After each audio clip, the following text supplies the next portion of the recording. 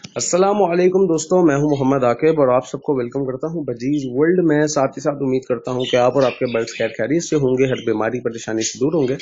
आज का जो मेरा टॉपिक है बेसिकली आपको बताना है कि अगर आपका बर्ड आपसे डरता है तो आप उससे ब्रीड किस तरह लें।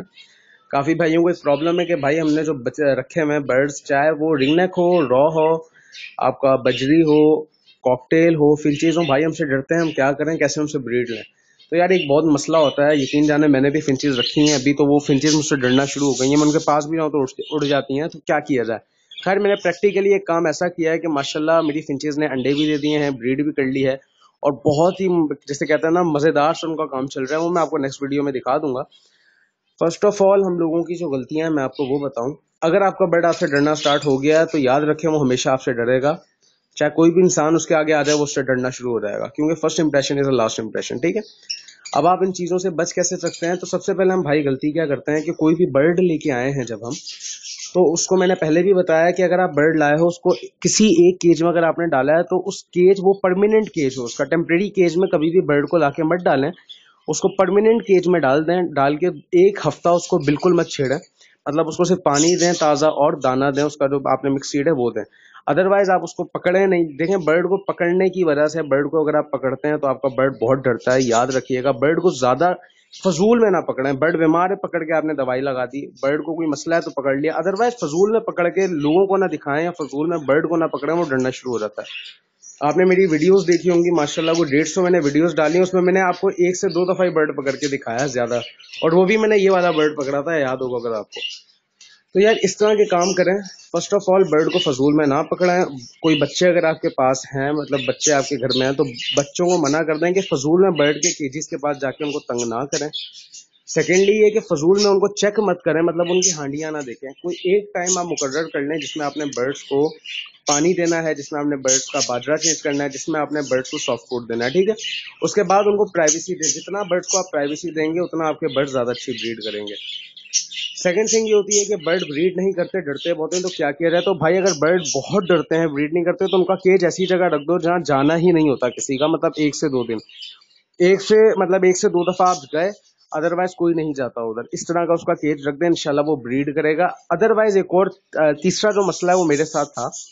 इस केज में भरे हुए थे मेरे पास बजीज आप जानते हैं, और वो एक भी ब्रीड नहीं कर रहा था। सबसे बड़ा मसला मेरे साथ ये था कि उनमें से काफ़ी ज़्यादा ब्रीड नहीं करते थे। तो मैंने क्या किया, मैंने उनकी पोजीशन चेंज की मतलब उनका केज चेंज कर दिया। मैंने यहाँ से निकाल के उन्हें कॉलोनी में डाला और आप यकीन करें, वो बर्ड जो सात महीने से मेरे पास थे, वहाँ कॉलोनी में जाते ही उन्होंने ब्रीड कर ली। तो सबसे बड़ा इनका मसला होता है, अगर इनको, इनका केज सूटेबल नहीं लगता है, इनको तो इनका केज इनसिक्योर लगता है तो ये ब्रीड नहीं करते। अगर ये आपसे डर जाते हैं तो ब्रीड नहीं करते। तो अगर आपसे ये डरते हैं तो आपने क्या करना है, एक डिस्टेंस मेंटेन रखना है, जितना आपको दिख रहा है। मैंने बर्ड की मेरी घर की ब्रीड है सारी बट मेरा डिस्टेंस हमेशा मेंटेन रहता है वीडियो बनाते हुए। एक डिस्टेंस मेंटेन रखना है। फजूल में आपने किसी को केजीज नहीं दिखाना। मतलब कोई दोस्त यार आ गया, बच्चे आ गए, आपने उनको ऊपर ले गया कि आओ, तुम्हारी तफरी कराता हूँ, ये काम नहीं करना। अगर आप एज अ तफरी बर्ड्स को सबको दिखाएँगे, बच्चे उनको तंग करेंगे, उनकी हांडियाँ देखेंगे तो आपका बर्ड ब्रीड नहीं करेगा, ये लिखवा लें मुझसे। बर्ड को तंग नहीं करना, एक डिस्टेंस मेंटेन रखना है। थर्ड ये कि आपने कोई एक टाइम रखना है जहाँ आपने बर्ड को दाना पानी देना है। फोर्थ बात यह है कि अगर आपका बर्ड अपने केज में सूटेबल नहीं है, काफ़ी अर्सा उसे हो गया ब्रीड नहीं की उसने। तो यहाँ तो आप उसका केज चेंज कर दें या उसका केज थोड़ी सी ऊँची जगह पे लगा दें। मतलब अगर केज उसका यहाँ पे तो आप उसको यहाँ पे लगा दें, इंशाल्लाह वो ब्रीड कर जाएगा। केज ऊँचा क्यों लगाते हैं मैं अपनी नेक्स्ट वीडियो में, जब मैं फिंचिस की वीडियो बनाऊँगा, तब बताऊँगा आपको। एक और बात यह है कि माशाल्लाह से चैनल तो मेरा चल गया है लेकिन मेरे जो हैं, काफ़ी लोग ऐसे हैं कि जिन्होंने वर्ड टू वर्ड मेरा चैनल जो है वो कॉपी कर लिया मतलब बजीज वर्ल्ड मेरे चैनल का नाम है। और आगे उन लोगों ने बजीज वर्ल्ड के नाम से बना के चैनल बना लिया, कोई मसला नहीं। मेरे सारे टॉपिक्स को कॉपी करके वर्ड टू वर्ड जो मैंने टॉपिक्स है उनको कॉपी किया है, जो मैंने यहाँ पे आपको बात बताई है, वो बात सुन के आगे वीडियोस में बता रहे हैं। तो ये मत किया करें, बहुत बुरा लगता है मुझे। खैर, इससे होता तो कुछ नहीं है, लोगों को समझ तो आ जाती है कि आपने कॉपी किया हुआ है बजीज वर्ल्ड को।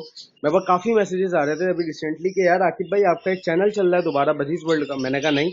उन्होंने मुझे स्क्रीन भेजे, मैंने कहा, यार, ये कोई और चैनल चला रहा है और एक नहीं दो तीन चलना शुरू हो गए तो खैर, एक ये भी स्टेप है कि लोग जानना शुरू हो गए तो भाई, आप लोगों को सिंपल सी एक बात कहनी थी कि अगर वीडियोस मेरी आपको अच्छी लगती हैं तो वीडियोस तो लाजमी देखें। वीडियोस तो आप देखा करें, अच्छी बात है। लेकिन आप सब्सक्राइब किया करें। सब्सक्राइब से मेरा दिल खुश होता है। मुझे लगता है कि हाँ यार, मेरे भाई जो है, मेरी जो फैमिली है, वो बढ़ना शुरू हो गई है बजीज वर्ल्ड की।